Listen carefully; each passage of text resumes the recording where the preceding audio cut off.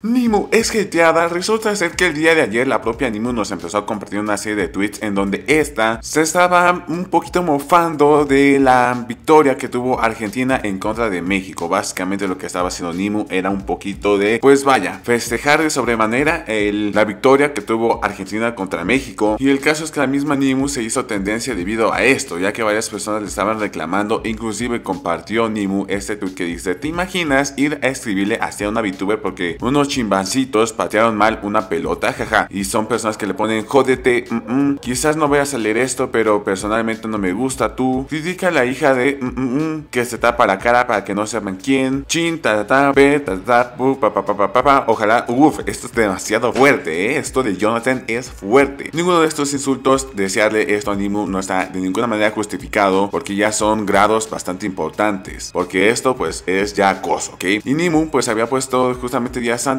un tweet que dice, gente de México, prométame que sean cual sea el resultado de este sábado, vamos a insultarnos mucho entre nosotros. Gracias. Una cosa es insultarse y otra cosa pues es ya desear este tipo de cosas y acosar. Y como sea, pues Nimu creo que lo estaba diciendo en broma, pero aún así estuvo sí que muy pesada en Twitter. Pero bueno, ya retomaremos este tema del hate más adelante. Luisito Comunica es tachado como traidor. El día de ayer se hizo tendencia el nombre de Luisito. ¿Esto por qué? Porque él mismo fue compartiendo imágenes en su cuenta de Instagram de cómo tenía la playera argentina. Lo cual varias personas empezaron a hacer meme de que básicamente el peor traidor no era ni Judas, sino Luisito Comunica. Esto después de que México perdiera contra Argentina. Lo que decidió hacer Luisito fue ponerse la camiseta de Argentina una vez que estos tuvieron la victoria. Por lo que, bueno, al final, repito, varias personas empezaron a hacer mofa de esta situación. El mismo Luisito también se lo tomó a gracia, publicó en Instagram mismamente una fotografía haciendo referencia a este tema, porque pues la verdad sí que fue muy divertido cuanto menos ver de esa manera a Luisito Comunica.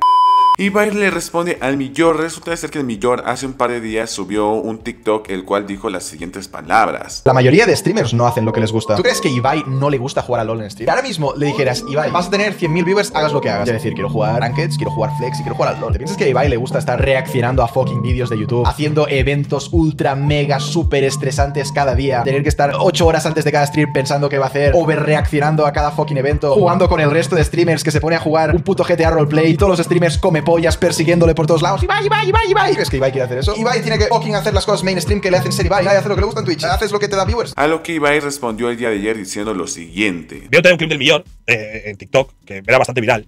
Que aparte está como muy de moda ahora, como soltar facts y, estar basado. O sea, es como que está de moda, ¿vale? Eh, y respecto a lo de jugar a cosas, eh, me decía el millón decía el millón algo así como: ¿Vosotros os creéis que Ibai le gusta lo que hace? No le gusta nada de lo que hace. A Ibai le encantaría jugar al LOL si tuviese 100 viewers jugando al LOL, pero no lo hace porque, porque no le va a ver nadie.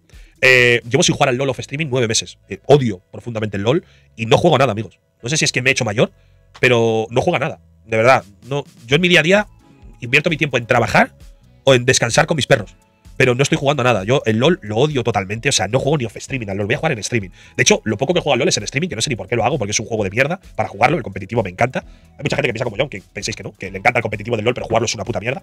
Eh, pero al LOL off streaming no juego nada, o sea, yo creo que tengo partidas en mi historial de abril, es que en general no juego a nada. De verdad, amigos, aunque sea difícil de creer, en streaming hago lo que me sale de los cojones la gran mayoría de las veces. De hecho, este streaming es la gran prueba de que estoy haciendo lo que me sale de los cojones. He venido a hablar con vosotros como si fuerais mis putos colegas y estamos pasando el rato hablando de cosas. Y, la verdad me lo estoy pasando de puta madre.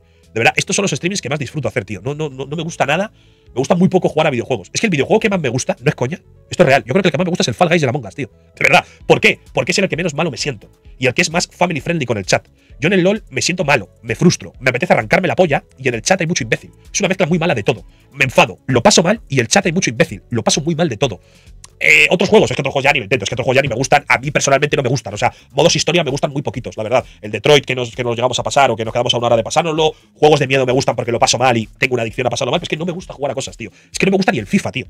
De verdad. Es que si, me he hecho algo, yo no sé qué me pasa, tío. Debe ser que he trascendido. Es que, de verdad, me apetece jugar el parchís en streaming. Ser streamer es pesado, es complicado. En este caso, pues bueno, el mismo Ibai menciona que le gustaría hacer más just chatting. Esto porque, pues, de igual manera, no requiere tanto complejidad, no requiere saber de un juego, no requiere tampoco ser experto en algo, simplemente, pues, estar hablando con las personas y ya. Pero las horas que se llega a invertir, pues, es donde mismamente cae todo el peso. Y pues, bueno, para contraargumentar un poquito igual lo que dijo millor. Al final de cuentas, pues a, Ibai posiblemente sí le gustaba el LOL, pero como lo mencionó, este mismo, ya a él no le gusta transmitirlo, ni siquiera lo ha jugado el LOL porque pues ya se le hace muy pesado y al final de cuentas él trata de ser 100% transparente con lo que le gusta hacer en directo. Claramente tiene variedad, pero pues eso no es algo que le llegue a perjudicar o afectar mismamente a este.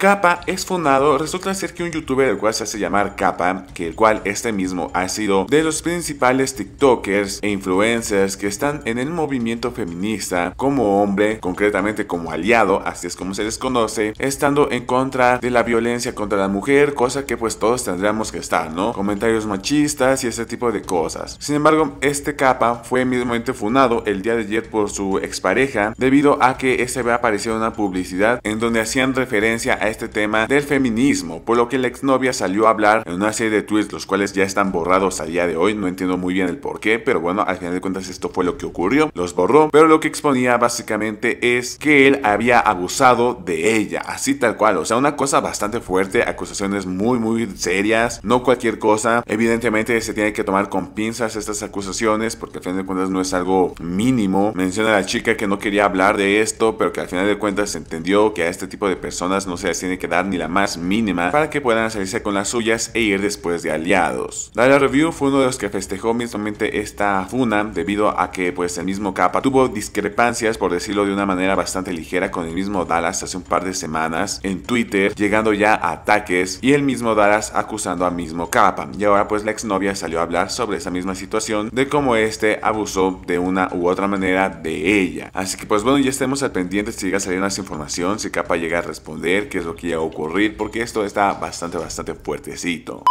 El Mariana pide parar el hate y termina obteniendo ataques de xenofobia, pues resulta ser que el mismo Mariana tras el partido de México el día de ayer pone un tweet que dice no me gusta el fútbol, pero sé que es lindo sentir la competitividad, defender a tu equipo, etc. Pero no está chido hacer comentarios inapropiados a hacer menos a un país solo por un deporte. En fin, aunque no sepamos el futuro de Twitter, no quiero seguir a gente que tira caca como los monos, jaja. Y varias personas empezaron a poner, estuvieron toda la semana burlando Argentina y saltando con temas externos al fútbol. Te quiero Mariana, pero fue ambas partes. Te quiero Mariana, pero desde el martes los mexicanos vienen jodiendo a los argentinos hasta insultaban a las Malvinas. Vi a varias personas deseándole la M a Carrera por celebrar los goles. Con perder seguidores y tener hate en un sencillo pass. Gol, hijos de, mm, chúpenla, mm, muert, mm, mm, gol. Y bueno, estas son las personas que precisamente exageró a la hora de festejar poniendo pues este comentario bastante, bastante mm, desagradable, digámoslo de esa manera actualmente tiene su cuenta en privado de Twitter, me imagino por esta misma situación. ¿Por qué no te gusta el fútbol? No lo entiendes. Lamentablemente es el folclore del fútbol y es así, se insultan, se dicen cosas muy ofensivas y es eso, es una parte del fútbol. Puede no gustarte, pero tenés que entenderlo, no es de ayer, no es de hoy, es de siempre. ¿Cómo ustedes se pueden meter con el color de piel, nuestra comida, muer ah, ah, llamando mm, mm, mm, de hambre, pero les tocan las Malvinas y somos las malas? Usaron nuestras raíces para proyectar sabemos lo que somos y las raíces. Lo que caga es que usaron eso para burlarse. ¿Alguna vez los mexicanos van a dejar de llorar tanto todo el tiempo por cualquier cosa? Parecen niños, boludo, de chilche. Tanto México como Argentina se están dando. Ese lore del fútbol, precisamente por eso no lo entiendes. Porque no sos de ver fútbol. Y que mm, mm, los mexicanos iniciaron haciéndose los grandes porque Argentina perdió con Arabia. Buscaron roña y encontraron. Ahora aguántense. ¿Qué es esa pelotudez de tirar la piedra y guardar la mano? El que busca bardo, que se lo van a ver, la realidad de esto es que pues ya meterse con un país directamente, con su población, que al final una minoría fueron los que empezaron a insultar o burlarse de los argentinos, no es como que justo, ¿no? El hecho de mencionar a todos y generalizar a todos los mexicanos y después insultarlos. Y eso de argumento de que así es el fútbol se me hace absurdo, tiene que haber respeto en todo, porque al final de cuentas es un deporte que les están pagando a otras personas, mientras que los aficionados simplemente pierden tiempo y pierden dinero si van al estadio o consumen mismamente algún producto de la misma selección o equipo al cual están apoyando. Como tal, ni siquiera ganan nada. Pero en fin, ¿a qué streamers o a qué personas concretamente se referiría el Mariana para decir que iba a dejar de seguirlas por este tipo de comentarios? No lo sé, pero en fin, ¿ustedes qué piensan de esto? Que en los comentarios para saber su opinión ustedes. Sin más que decir, adiós.